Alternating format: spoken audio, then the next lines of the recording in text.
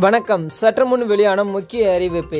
தமிழகத்தில் ஞாயிற்றுக்கிழமை முழு ஊரடங்கு எவை ஏங்கும் எவை ஏங்காது அது மட்டும் இல்லாமல் ஊரடங்கில் மாற்றம் செய்யப்பட்டவை என்னென்ன? எல்லாவற்றையும் நீங்கள் உடனுக்குடன் தெரிஞ்சுக்கொள்ள கீழே இருக்க சிவப்பு கலர் பட்டனை கிளிக் பண்ணி சப்ஸ்கிரைப் பண்ணி வச்சுக்கோங்க. இப்போ வாங்க வீடியோக்குள்ளே போகலாம்.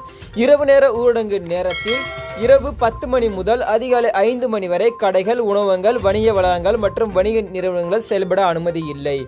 இந்த புதிய கட்டுப்பாடுகளை அத்தியாவசிய பணிகளுக்காக பால் பத்திரிகை விநியோகம் மருத்துவமனை பங்குகள் ஆம்புலன்ஸ் அமர ஊர்தி ஏடிஎம் சரக்கு வாகனங்கள் எரிபொருள் வாகனங்கள் போன்றவை மட்டும் இரவு நேரத்தில் செயல்பட அனுமதி வழங்கப்பட்டுள்ளது. இரவு நேர ஊரடங்கில் மாநிலத்தின் பொது மற்றும் தனியார் பேருந்து போக்குவரத்து சேவை அனுமதி. மாநிலங்களுக்கிடையே பொது மற்றும் தனியார் போக்குவரத்து சேவை முழுவதுமே பதினா தடை விதிக்கப்படுகிறது. ஓட்டுநர் மற்றும் நடத்துனர் இரண்டு தவணை தடுப்பூசி செலுத்தியிருப்பதை தொடர்புடைய போக்குவரத்து நிறுவனம் தெரிவிக்க வேண்டும். அது மட்டும் இல்லாமல் முழு ஊரடங்குகளை எவை இயங்கும்ங்கிற பார்க்கலாம். அதாவது நாளை ஞாயிற்றுக்கிழமை முழு ஊரடங்கின் போது பொதுமக்கள் அதாவது பொது போக்குவரத்து மற்றும் மெட்ரோ ரயில்கள் ஆகியவை இயங்காது. ஞாயிற்றுக்கிழமை அன்று முழு ஊரடங்கின் போது உணவகங்கள் பார்சல் சேவை மட்டுமே அனுமதி அதுவும் காலை ஏழு மணியிலிருந்து இரவு பத்து மணி வரைக்கும் மட்டுமே அனுமதி. இதர மின் வணிக நிறுவனங்கள் இயங்க அனுமதி கிடையாது. அரசு தனியார் நிறுவனத்தில் ந- நடத்தப்படும் பொங்கல் கலை நிகழ்ச்சிகள் அனைத்துமே ஒத்துவைக்கப்படும். அனைத்து வழிபாட்டு தலங்களும் பொதுமக்களுக்கு அனுமதி இல்லை. அத்தியாவசிய பணிகளான பால் பத்திரிகை விநியோகம் மருத்துவமனை மருந்தகங்கள் பெட்ரோல் பங்குகள் ஆம்புலன்ஸ் ஆர்னர் ஊதி ஏடிஎம் சரக்கு வாகனங்கள் எரிபொருள் வாகனங்கள் போன்றவை செயல்பட அனுமதி வழங்கப்படுகிறது.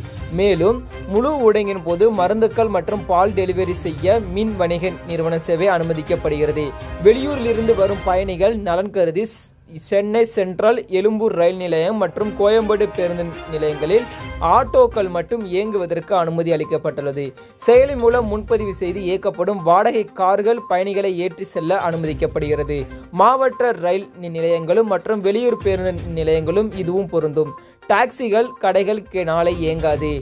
யூபிஐசி டிஎன்பிஎஸ்சி உள்ளிட்ட போட்டித் தேர்வுகளுக்கு செல்வோர்களுக்கு அனுமதி எனவும் வேலைவாய்ப்புக்காக நேர்முக தேர்வுகள் செல்வதற்கு அனுமதி எனவும் எனினும் அவர்கள் தேர்வு கூட அனுமதி சீட்டு நேர்முக தேர்வுக்கான அழைப்புதல் கடிதம் ஆகியவற்றை காண்பித்து பயணம் மேற்கொள்ளலாம் எனவும் தெரிவிக்கப்பட்டுள்ளது. தமிழகத்தில் அதாவது தமிழகத்தில் ஞாயிற்றுக்கிழமை எது இயங்கும் எது இயங்காங்கிறது தெளிவாக பார்த்தோம். இதே மாதிரி டெய்லியும் நீங்கள் தெரிஞ்சு கொள்வதற்கு கீழே இருக்க சப்ஸ்கிரைப் பட்டனை கிளிக் பண்ணி சப்ஸ்கிரைப் பண்ணி வச்சுக்கோங்க. அனைவருக்கும் நன்றி வணக்கம்.